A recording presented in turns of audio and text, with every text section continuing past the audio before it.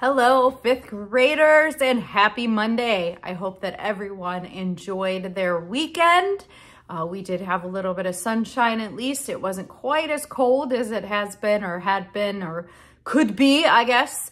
And so I hope you were able to maybe get outside and play a little bit and have a good time. So we are back at it with another full week in our second quarter out there um, making good choices, getting your classwork done, retaking any of those tests that we need to retake, taking on that responsibility to make sure that we're doing the learning, the relearning, and the contract and all of those things so that we can retake and make sure that we're mastering those skills uh, that our teacher's trying to teach us. So one thing I want to talk about, I have a an uptick in kids that are coming to my office for a specific reason. And that reason is they're putting their hands on each other. Now, not full blown like we're punching each other or like having these big, huge fights, but we are uh, putting our hands on each other in ways that are inappropriate in school. And so I just want to remind you that that will get you a consequence. At the very least, it will get you an after school detention, possibly a Saturday school, or most likely some kind of suspension. So your hands are to yourself. If you are in a situation that is making you angry, you need to remove yourself. Go find a teacher, go ask for help. Step out of that situation before it escalates and then it escalates and then everybody gets in trouble. Um, we're not messing around with our friends and wrestling or pushing each other in the hallway. These things are all going to get us in trouble. So just another warning that uh, I'm seeing more and more of this. I'm having more and more phone calls with parents where I have to explain that at the middle school, we take that very seriously and that any hands-on is going to get you sent to my office with some kind of consequence. So keep those hands and feet and objects to yourself. So the month of November, there's a holiday, right? We all know what holidays in the month of November. It's Thanksgiving. And Thanksgiving is all about the things that we're thankful for. So I'm going to talk a little bit about what um, it means to be thankful and things that we're thankful for over the course of the month. And today I have a kid president video for you on the, I believe it's 25 things that he is thankful for.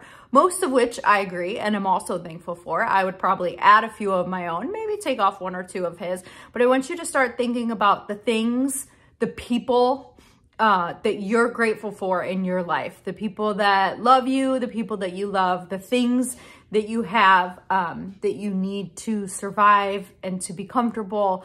And uh, we'll have some opportunity kind of to talk about those throughout the month. So have a wonderful Monday and I will see you tomorrow. So let's be real. Some days are hard.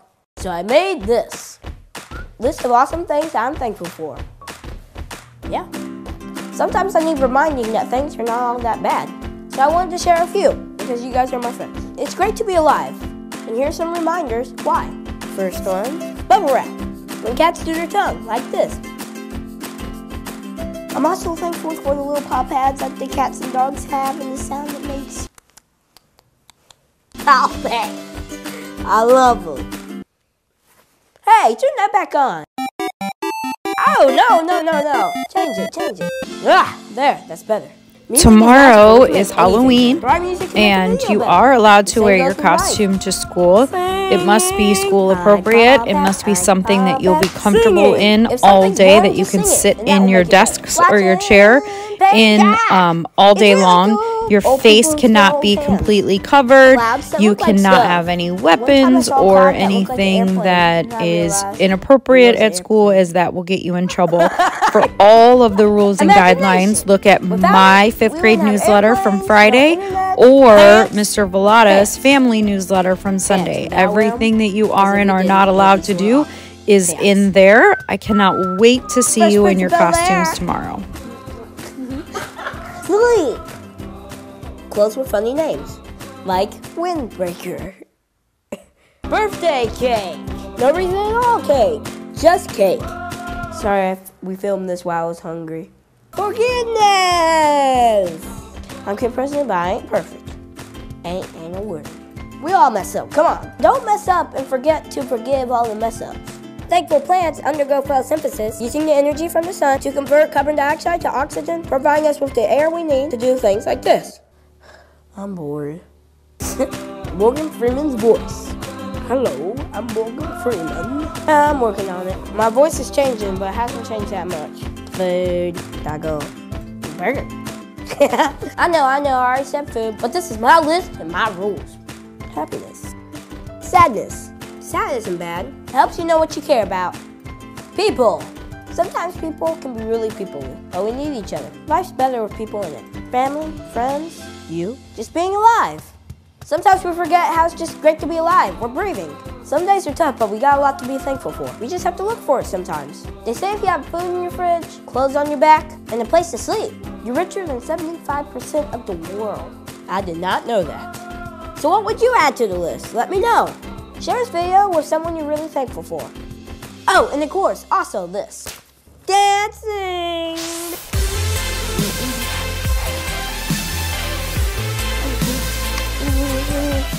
Are thankful for all of you. Seriously, thanks for giving us and the whole world a reason to dance. So what are you thankful for? Let me know. KP out. Keep going, keep going, keep going. I call this move the stovetop stuffing.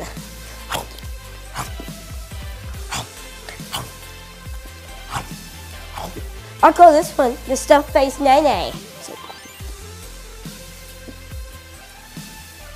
I forgot one. There's something that I'm really thankful for. Uncle Jesse from Full House. This is macaroni art of him. It's beautiful. Have mercy. I'm filming a video to encourage people to be thankful. KP out. Titans Pledge. As a Titan, I am respectful, responsible, and safe. I pledge to pursue excellence, live with integrity, and act with purpose.